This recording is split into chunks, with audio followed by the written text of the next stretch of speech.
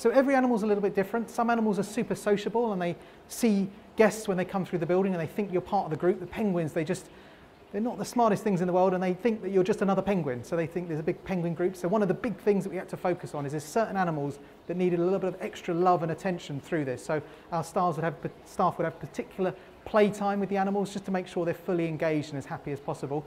And now guests can come back in. It's, it's handing that job back to the guests to interact and have fun with the animals.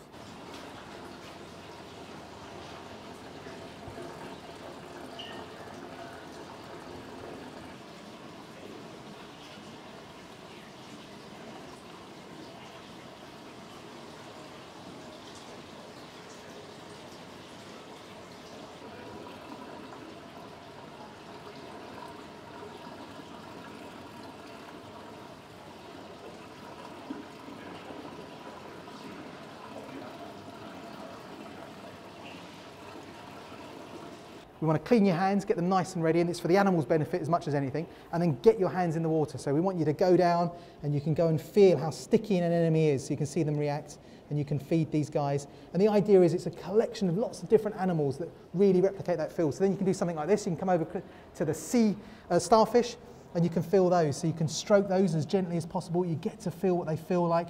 I think they feel actually a little bit like a fruit pastille.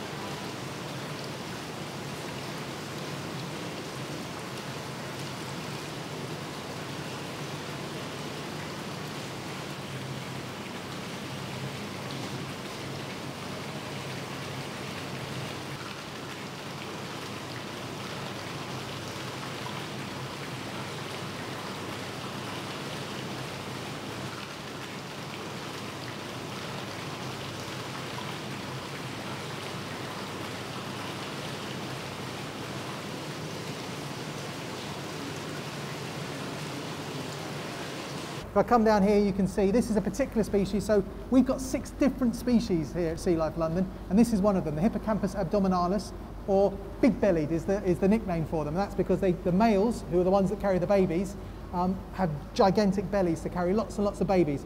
And we're breeding those, and you can see the result of that breeding down here. So if you come down here, you can see lots of different baby Hippocampus abdominalis babies, and they'll take about four or five months to grow on, and once they get to a bigger size, they'll too join their, their relatives out on display.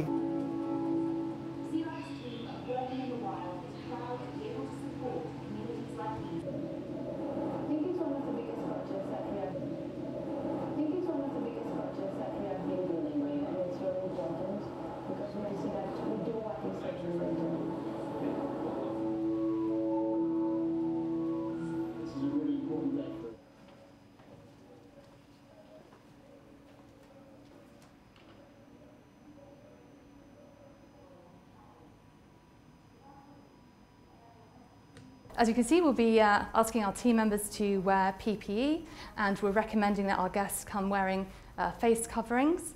We will have enhanced cleaning throughout the attraction. Um, we're asking guests to pre-book their tickets and we are uh, running with a reduced capacity.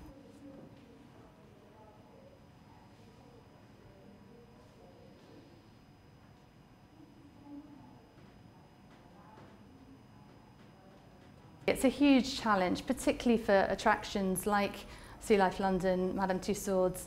Uh, London is such a, a busy place. Normally we'd see thousands of people within our attractions, but obviously there's no international guests, which are, are really key for us. So it's important that Londoners and everyone in the surrounding area comes and supports us and visits their local attractions.